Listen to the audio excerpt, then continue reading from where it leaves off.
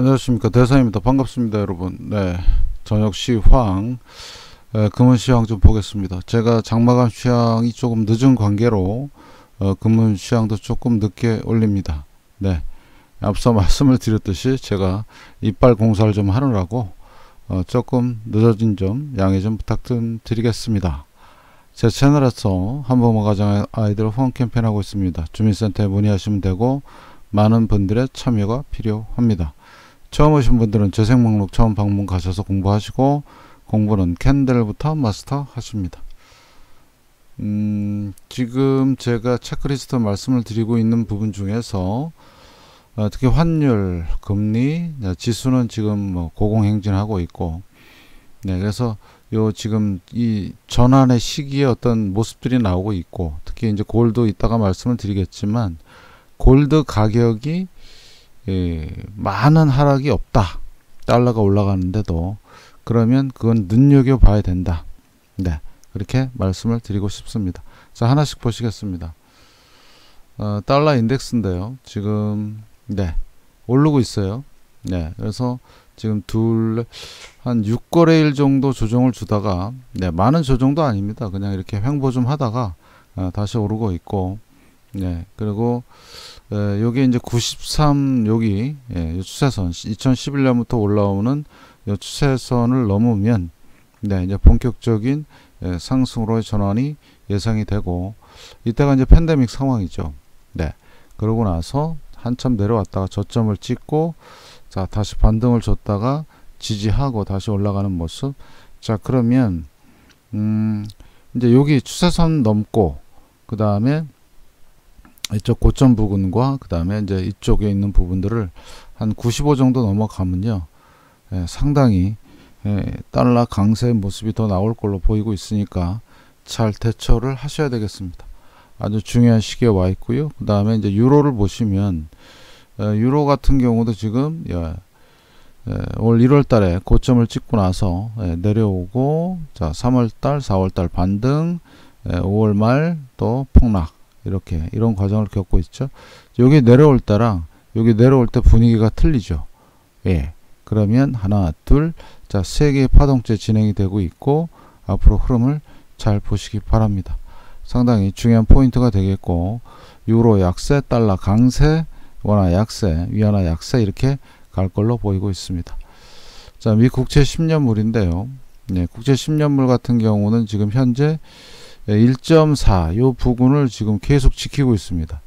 예, 더 이상 내려가는 흐름이 안 보여요. 네. 지금 몇 고래일지 지금 이러고 있는데 하나, 둘, 자, 세 개 파동을 일단 그렸고요. 네, 지금 현재 여기를 지키고 있다. 네, 잘 보셔야 된다. 그래서 에, 지금 현재 이제 실질 금리는 지금 올라가지는 않고 있는데 에, 기대 인플레이션도 지금 제자리, 자, 명목 금리도 제자리.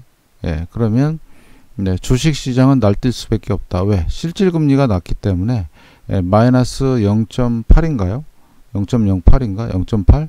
그 정도 되는데 네, 앞으로 잘 좀 보시고 어, 흐름을 잘 보셔야 되겠다. 그래서 앞, 요거 때문에라도 앞으로 올라가게 되면 얘가 네, 많은 변화가 보일 것이다. 잘 참고 좀 하시고요. 네. 그리고 여기 30년물 보시면 얘도 플러스 금리차 금리차 예, 잘 좀 보시고요. 음, 그래서 요 흐름 이제 거의 다 마무리가 됐고 이제 이제 올라갈 타임인데 어, 기술적 분석으로 봐도 그렇습니다. 이제 올라갈 타임 맞습니다. 조금 더 지나고 앞으로 어, 금리 상승에 대한 그런 모습을 어, 볼 수 있을 걸로 예, 저는 지금 파악하고 있고 어, 요거 특히 2년물과 5년물 금리들 요거 잘 보십시오. 단기물들. 네. 예, 상당히 중요한 부분을 차지하고요. 그래서 작년 8월부터 엄청난 변화가 있었는데 국채 시장에 네, 어, 지금 네, 주식 시장만 지금 버팅기고 있습니다. 잘 좀 보시고요. 네. 자, 그 다음에 WTI 원입니다. 음, 자, 얘가 고점이 얼마까지 갔었냐면 74달러, 에, 74.45달러. 에, 지금 현재 종가가 72.52달러. 예, 많이 내려온 것도 아니에요. 음. 그래서 이 양봉에 지금 어, 지지를 받는 것 같고요. 어, 앞으로 유가도 잘 보시자. 네, 얘는 물가와 인플레이션에 영향을 미치기 때문에 자, 크게 조정을 받을 것 같지는 않습니다. 저 상태를 봐서는. 그래서 앞으로 요 흐름 잘 좀 보시고요. 음. 자, 비트코인인데 이번 주에 자, 양봉 하나 지금 드디어 세우기 시작했는데 요건 이제 끝나 봐야 되겠죠. 끝나 봐야 되겠고 어, 지금 문제는 뭐냐면 5월 17일 주간에 이 터졌던 이 거래량 엄청나죠. 그 다음에 여기 예, 지난주에 터졌던 거래량입니다. 이렇게 되면 네, 얘는 반등하기가 힘들어요. 진짜로. 예. 이게 뭐냐면 하락 막바지다. 그러면 여러분들은 주봉에서 요것만 보시라 그랬어요. RSI 값이 지금 현재 얼마냐면 45거든요. 살짝 지금 반등을 해서 41, 45, 30으로 빠지는 가만 보시면 됩니다. 30끝청 가면 얘는 뭐라고요? 예, 바닥일 것이다. 그래서 25,000 그 밑에까지도 좀 열어 놓으시고 잘 보시고 예, 아주 심플하게 예, 예, 패턴 같은 경우도 잘 성립이 됐고요. 음, 그래서 어, 제가 예견한 것 중에서 금 과 은, 그 다음에 이제 비트코인 어, 이렇게는 상당히 좀 괜찮았는데 주식 시장이 문제입니다. 아, 그거는 이제 제가 결론이 유동성의 어떤 어, 엄청난 어, 공급으로 인한 계속까지 계속해서 지금 음, 이제 버팅기고 있는데 예, 이런 비트코인의 전철을 밟을 것이다. 네, 주식 시장도 그래서 언제 급락이 나올지 모르고 그런 부분도 유념하시라고 말씀을 드렸고 어, 두 달 만에 얘는 네, 몇 프로? 50% 이상 빠졌다. 이렇게 보시고요. 그 다음에 자 여기 말씀을 드렸던 요 부분. 네. 여기 거래량 터진 거 이거. 여기도 거래량 터졌죠? 네. 상당히 힘들 것이다. 요 부분. 네. 그래서 어, 아무, 튼25,000 밑에까지도 열어 놓으시고 잘 보셔야 된다. 그래서 이제 바닥을 찍고 올라왔어요. 투자를 할 건가 말 건가는 여러분들 자유. 네 알아서 투자하십시오 저는 기술적 분석 통해서 앞으로 흐름을 에, 보는 사람이니까 잘 좀 보시고요 그 다음에 S&P 500 선물입니다 자, 여기가 4282.12, 4282.00 역사적 고점입니다. 네. 그런데 자, 고점이 올라갔죠? 예, 고점이 내려왔습니다. divergence 반드시 시연한다 그랬습니다. 이런 거. 여러분이 잘 보셔야 되는데 예. 그러면 조만간 급락도 나올 수 있는 부분이다. S&P 500. 자, 이게 역사적 고점이에요. 지금 이 부분이. 네. 여기서처럼 봉들이 크지가 않죠. 올라갈 때 상당히 크고 올라갔는데 봉들이 되게 짜실짜실해졌어요. 예. 여기는 봉들이 이렇게 크잖아요. 크게 크게 크게 크게 올라가다가 짜실짜실하다가 폭락. 자 크게 크게 크게 또 올라가다가 짜실짜실하다가 폭락. 지금 여기 짜실짜실해졌죠. 아, 짜실짜실이 무슨 뜻이냐? 아주 작아졌다는 얘기입니다. 예. 제가 좀 작다란 표현을 조금 이상하게 했는데 이해해 주시고 짜실짜실해졌어요. 그러면 결국엔 뭐냐 변동성이 이제 커진다는 얘기예요. 어느 쪽으로 아래쪽으로 예 그러면 역사적 고점이기 때문에 주의하자 이 말씀을 드리고 싶고 일봉에서도 divergence 자 보셔야 될 게 주봉에서는 어마무시한 divergence 네 결국엔 시연할 것이다 네 기대하셔도 좋습니다. 자, 나스닥을 보시겠습니다. 나스닥 어제 양봉 세워놓고 네 조그만 네 doji candle이 떴습니다. 앞으로 흐름 잘 보시고요. 자 마찬가지 얘도 주봉을 좀 보시면 네 주봉에서도 엄청난 divergence 반드시 시연하러 간다. 그래서 얘는 15,000까지 한번 일단 열어 놓으시고요. 네. 그 다음에 얘는 4,000 얼마까지? 예, 4,000한 500까지 열어 놓으십시오. 4,500까지는. 네. 아무래도 계속 달려야 됩니다. 얘네들은. 속성상. 예. 그러고 나서 아주 화끈하게 이렇게 예, 꼬나박을 예, 그런 상황이 될 수도 있다. 잘 좀 보시고. 자, 금원비입니다. 자, 금원비가 자, A파, B파 끝나고 나서 지금 C파가 진행 중인데 예, 계속 횡보하고 있습니다. 아, 요거 좀 잘좀 좀 보셔야 되고. 그래서 제가 목표로 하는 거는, 어, 요 40 근처가 되지 않을까. 예 전에 이 모습이거든요, 이게. 예. 그죠? 예. 그래서 한 40 근처에 다 이렇게 저점을 찍고, 그죠? 어, 저점을 찍고 올라가고 저점을 찍고 올라가고 저점을 찍고 올라가고 예 여기가 큰 박스권에서 40과 80 근처를 왔다 갔다 하다가 이번에 확 솟았어요. 이때 예, 2019년부터 시작해서 지지하고 이렇게 올라가는 이런 모습. 예, 그래서 예, 금원비가 왜 중요하냐? 나중에 이제 은값과 금값이 이제 엇갈릴 겁니다.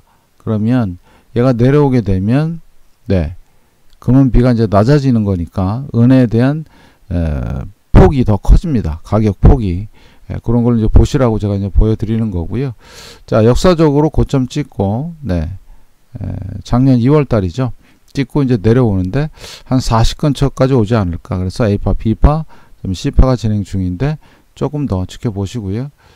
자 그러면 얘가 왜 중요하냐 금이 음 제가 앞 영상에서도 부자 아빠, 가난한 아빠, 어, 그 저자가 얘기했던 네, 금, 실물 금. 그래서 우리는 보험 차원에서 왜 보험 차원이냐?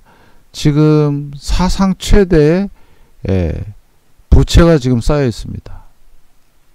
부채가. 그 다음에 엄청난 유동성도 어, 공급이 돼 있고요. 그러면 지금 이게 만약에 터지게 되면 네, 역대급의 버블 붕괴가 일어날 겁니다. 그래서 우리는 무슨 차원에서 보험 차원에서 실물 금은을 조금씩 모아두자. 네. 에, 특히 이제 그 인플레이션에 대한 얘기가 많이 나오고 있는데 자산 가격이 아, 자산 가격이 아니라 인플레이션이 되면 화폐 가, 가치가 떨어지는 거죠. 어, 그러면 인플레이션 해지 수단 중에서 가장 강력한 게 금과 은입니다. 아까 부자 아빠, 가난한 아빠 그 양반은 어, 비트코인도 얘기하고 있는데 그거는 투자 영역이라 여러분들이 알아서 하시고 이거는 진짜 생존에 관한 문제입니다. 금을 왜 사야 되냐? 금을 왜 우리가 조금씩이라도 갖고 있어야 되느냐? 예, 생존의 문제이기 때문에 그렇습니다. 화폐 가치는 폭락하지. 예. 그러면 우리는 일반 시민들은 많이 살 수가 없잖아요. 그래서 분할로 조금씩이라도 모아 가십시오. 1g도 좋고 뭐 한돈도 좋고 그죠? 네, 10g도 좋고 모아 가십시오. 모아 놓으면 나중에 어마무시한 일이 생길 것이다. 자, 짐 리카즈라고 엄청난 어 분이 계시는데 그분은 이게 금이 3만 달러까지 예상을 하고 있습니다. 만 달러 이상. 근데 저는 이런 값으로 한 4천 달러는 보고 있거든요. 그러면 앞으로 이제 경제 상황이 어떻게 바뀔지 모르지만 에, 금의 귀환이 올 때가 됐다. 자, 이때가 2011년 이게 돈 풀고 나서 이렇게 이런 현상이 생겼어요. 생각해 보십시오. 이게 엄청나지 않아요? 예. 이때부터 리먼 사태 일어나고 이때부터 양적, 양적 완화하기 시작하면서 어떻게 돼요? 예. 돈의 가치가 그만큼 떨어진 겁니다. 화폐. 예. 그래서 연준에서 일부러 죽이고 지금 다시 올라왔는데 여기를 고점을 넘었죠. 어, 당연히 파동 3의 1파, 3의 2파. 자, 그러면 현재 모습만 딱 보면 자, 보세요. 그래서 3의 2파 조정 주고 예. 그 다음에 올라가다가 지금 이렇게 멈춰 있죠. 자, 여기서가 중요합니다. 자, 달러 강세로 가는데 아까 보여 드렸죠, 요거. 달러 강세로 가는데 달러 강세로 가는데 얘가 많이 올라가요. 예를 들어서 예를 드는 겁니다. 그러면 얘가 올라가는데 만약에 금값이 이렇게 갑자기 안 빠지고 이 근처에서 이렇게 왔다 갔다 한다. 많이 안 빠지고 달러는 계속 올라가는데 그러면 네 시장에서는 어떻게 바라보고 있다고요? 지금 엄청난 인플레이션을 보고 있는 겁니다. 왜? 자 인플레이션에 의한 달러 자 인플레이션이라면 화폐 가치가 떨어져야 되는데 왜 달러 인덱스가 올라갈까? 예, 상대적인 가치입니다. 유로에 대한 그죠? 예. 그 다음에 원달러 환율에 대한 그래서 그런 부분들을 여러분이 잘 보셔야 돼요. 자 달러도 올라가고 금도 올라간다. 이러면 뭐가 좀 상당히 심각한 문제가 발생을 한 거다. 자 이렇게 생각을 하시고 여러분들이 잘 보시기 바랍니다. 그래서 지금 현재도 어, 금 가격이 많이 안 내려와요. 이게 되게 중요한 부분이고 금도 이런데 은은 더해요. 잘 안 내려옵니다. 어, 보시겠습니다. 자, 은 같은 경우는 예. 이렇게 한번 내려왔지만 한 7% 빠졌지만 지금 개기고 있어요. 안 내려와요. 예. 그러면 은은 요 박스권 안에서 만약에 머물고 있으면요. 예, 그거를 잘 보시라 이거죠. 음. 더 이상 안 내려오고 달러 올라가고 예. 그런 부분 좀 신경 써서 잘 보시기 바랍니다. 그래서 아무튼 앞으로는 상당히 예, 복잡한 시기가 올 것 같고요. 여러분들이 자 지금은 무슨 시기다? 네, 금리가 올라가는 시기다. 네, 금리가 올라가는 시기. 예, 지금까지는 예, 양적 완화를 통한 아, 지금도 현재 진행되고 있지만 예, 앞으로의 시대는 조만간 금리 상승기에 접어들 것이다. 자 그런데 연준에서 증시가 폭락한다고 해서 예 금리를 내리거나 그 다음에 돈을 더 이제는 풀 수가 없을 겁니다. 예. 왜죠? 인플레이션 때문에 그렇습니다. 자, 그거 잘 참고하시고 지금 많은 사람들이 인플레이션에 대한 걱정을 하는데 실제로 1980년대 아, 미국의 인플레이션 통제가 안 돼 갖고요. 금리를 20%까지 올렸었어요. 여러분 그 상상이나 가십니까? 그때하고 지금하고 경제 사정이 다르다고는 많이들 얘기합니다. 자료까지 제시하면서 틀리다.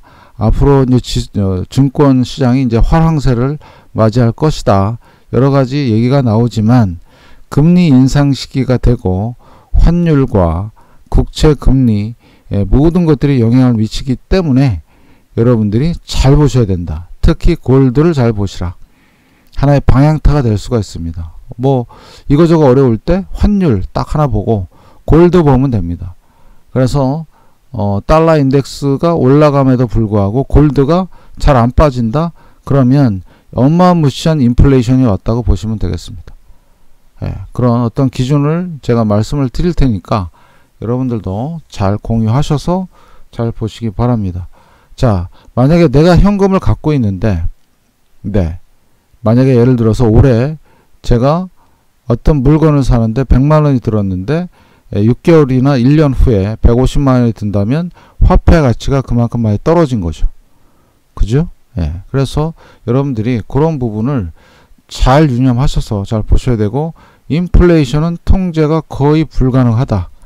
자산 시장에 어마무시한 폭락이 있지 않은 한 안 된다. 이렇게 판단하시고 잘 보셔야 된다.